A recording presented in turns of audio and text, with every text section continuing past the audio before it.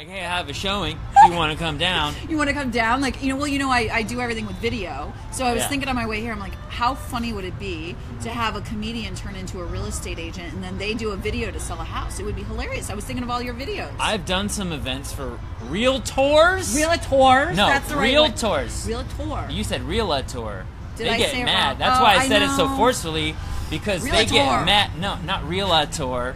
I'm telling the realtor the real way to say realtor. It just sounds. It's realtor. Real estate agent. Real estate. Real estate agent is right. They t- but they got mad at me if I said realtor. It's Realtor. realtor. And you have you have to yell it because it's in all caps.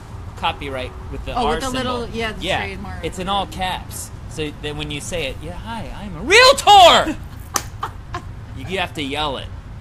Something along those lines. Wait, you just downright laughed.